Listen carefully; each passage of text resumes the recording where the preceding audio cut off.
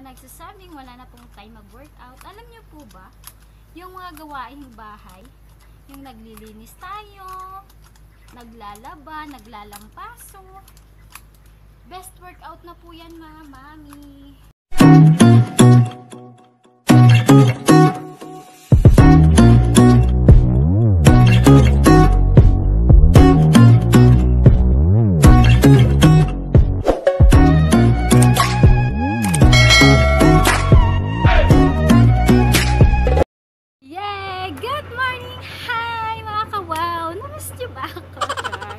Good morning to all my subscriber and to my supporters out there! Hi! Hello mga kawaw! Good morning po! Ah, it's me, yours truly, Mincy Pelgon, nagbabalik sa pagbablog. So for today's vlog mga kawaw ay tayo po ay magkakat ng Bermuda grass dahil tag-ulan na naman po. So sa may mga Bermuda grass dyan sa inyong bahay, lalo na po ngayon tag-ulan is need po natin na mag trim or mag-cut ng ating Bermuda grass. So, ang vlog po natin ngayon ay magka-cut ng Bermuda grass using our charang, using our gunteng. Yeah, big scissors in English. Okay, so samahan niyo po ako mga kawan. Mag-start na po tayo. Ah, syempre, hindi naman po sabay-sabay ang pagtubo ng ating mga Bermuda grass mga kawaw. So, first, ah, ang So first, para po sa akin, yung yung kinakat or tinitrim lang po namin is yung mga overgrown or yung mga mahahaba. Kasi, pangit naman po pag hindi sila pantay, di ba? So, ayun po.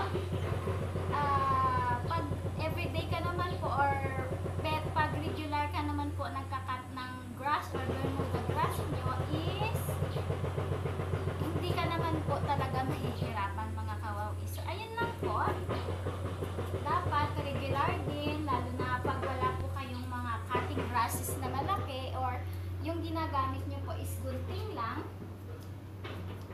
Pag hindi naman po busy, yung pinubukitan, ah, yung bubukitin nyo po is yung mga hindi patay or yung mga naunang tumubo sa amin po kasi, lalo na pag busy or pag umaga, after namin magwalis, yung may schedule po kasi kami after magwalis and magdilig, yung pagkakat, yung pagtitrim po ng grass,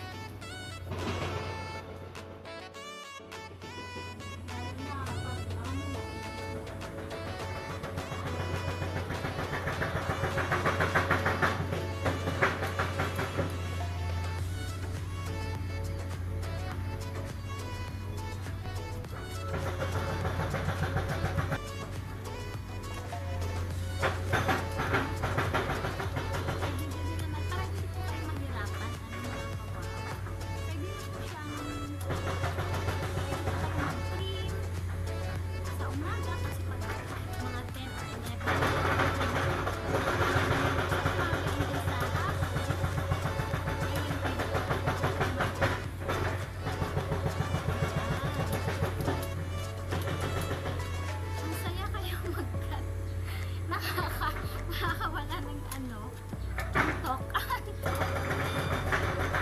Ah, kasi pag sa pag hindi na po kami busy, ito yung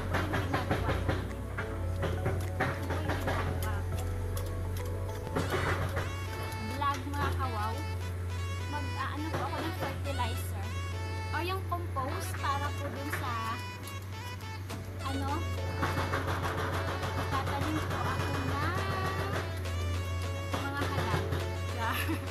good luck for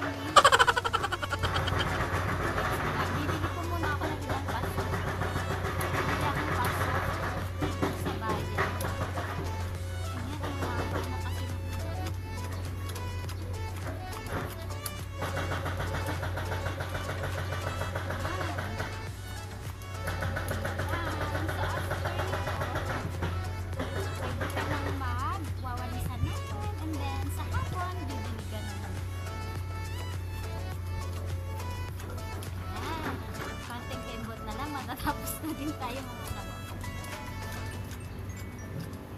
Be happy lang. Ang buhay kasi parang ano lang yun eh. Parang Bermuda grass. Bakit? kasi kapag hindi mo siya dinidiligan, namamatay. Yung pagmamahal ano yun? Kaya be happy lang mga kawan. Be safe, lalo na ngayon pandemic.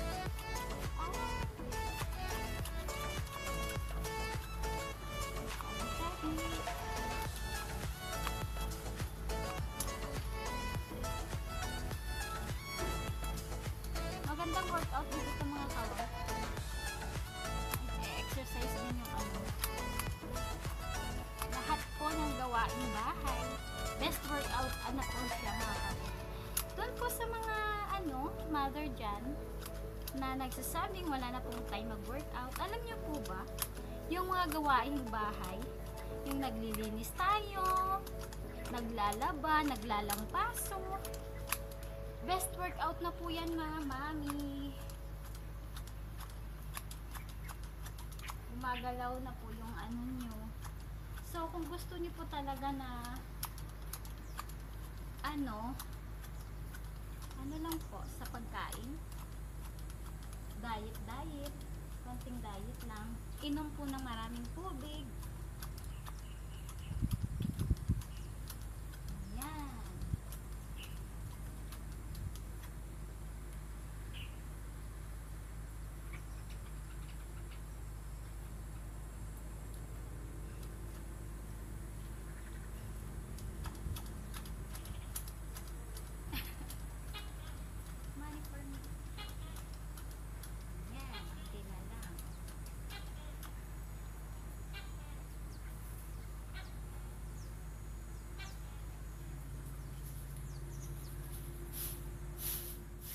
Ayan! Wow! Po talaga ang Bermuda grass. Kung ah, natriman po siya and then hindi pantay po ang pagkakatubo and then na-maintain yung pagkakat or pagtrim. So, wow! So, ayan. Hanggang dito na lamang po ang aking pagbablog kasi medyo mainit na po mga kawaw eh. So, thank you so much po sa pagsama sa akin ngayon. Ah, sana po magkita-kita po tayo sa aking next video. So, if you are new here, please kindly like and subscribe to my YouTube channel and hit mo na din ang notification bell para every time na may mga bagong videos akong i-upload ay ma-notify po kayo. So, thank you so much po mga kawaw! Always remember that nothing is impossible kung tayo po ay masipag at determinado para sa ating mga pangarap sa buhay. Keep fighting, keep moving, and keep safe mga kawaw. Thank you, thank you so much. Bye. Bye for now. Stay with me.